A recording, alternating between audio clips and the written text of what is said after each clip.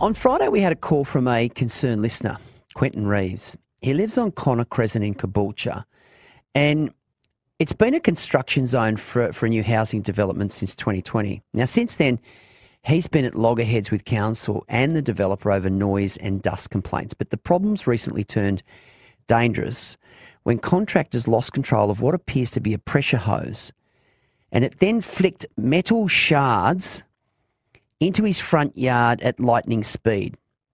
And it was 10 minutes after his wife and daughter were out there. We've got the footage of this and photos of the shrapnel. You'll be able to see it on our 4BC social media channels to know exactly what I'm talking about. But let me be really clear. Well, thankfully, no one was injured. Um, but it, it was extraordinary. It was like being in a war zone. There were metal shards uh, in the front yard. Um, they were coming at lightning speed. It was it was crazy stuff, and it's the final straw for Quinton. He joins me on the line now. Quinton, are you there? Yeah, mate. Thanks. Uh, you summed it up quite nicely there. We briefly went through what you've experienced, but just take me back to what happened on Saturday, March 16.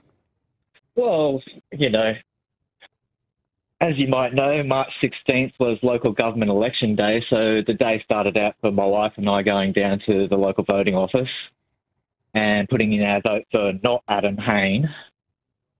And we came home, sat around for a bit, and then my wife had to go out and take the kids to see their grandmother for the day. Nice opportunity for me to sit back and relax, you know. Mm. Um, I'm sitting here, and I'm doing some programming on my computer, and I just hear this explosion outside. And I go outside, and I hear the the chick yell out, "Oh, you gave the grass a nice water there." And I'm like, yeah, it's not a workplace health and safety incident or anything. Little did I know, I went back and looked at the CCTV footage and they had actually lost control of that hose, like completely. She had run off and hid behind another neighbour's house. Oh my goodness. So she knew how dangerous it was.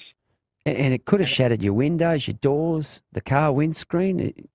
I mean, I've had a look at the video, and I'll tell you what, Quinton, yeah. you know, you guys dodged a bullet there. That would have that could have killed someone. That the way that hose was out of control, and it was emitting shards of steel, shrapnel.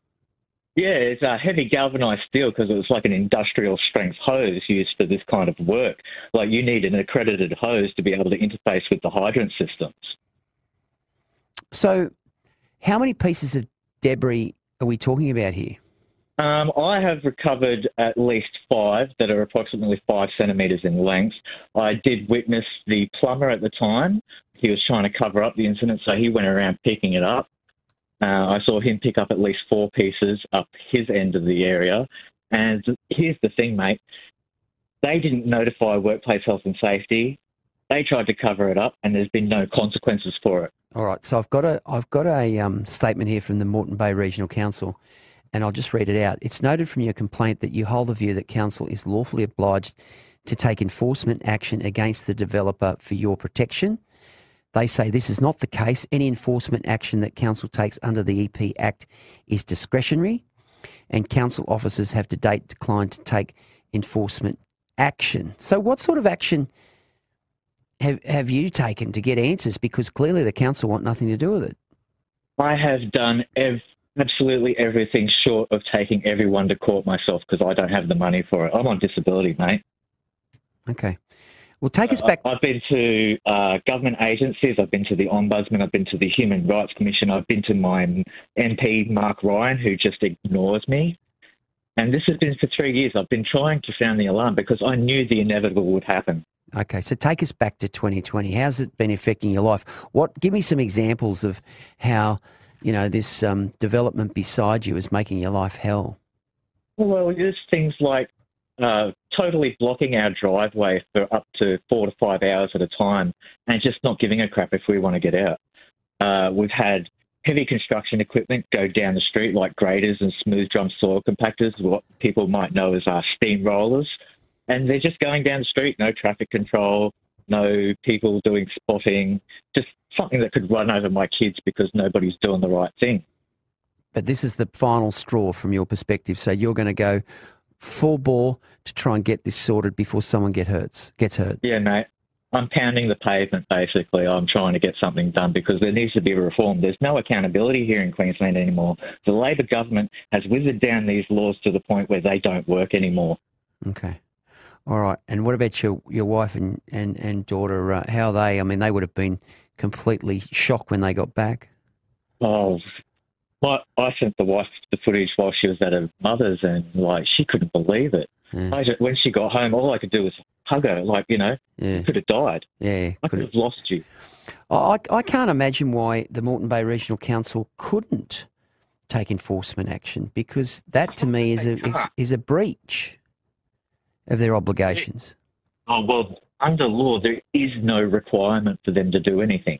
Okay the legislation doesn't make it so that they have to take any particular action. They don't have to protect the public. They are not accountable to anybody. Okay. Well, the video is already up on 4BC Facebook and Instagram. So I implore uh, our 4BC Drive listeners, you, you've, you've got to have a look at this to, to get an understanding of what we're talking about here and just how dangerous it was.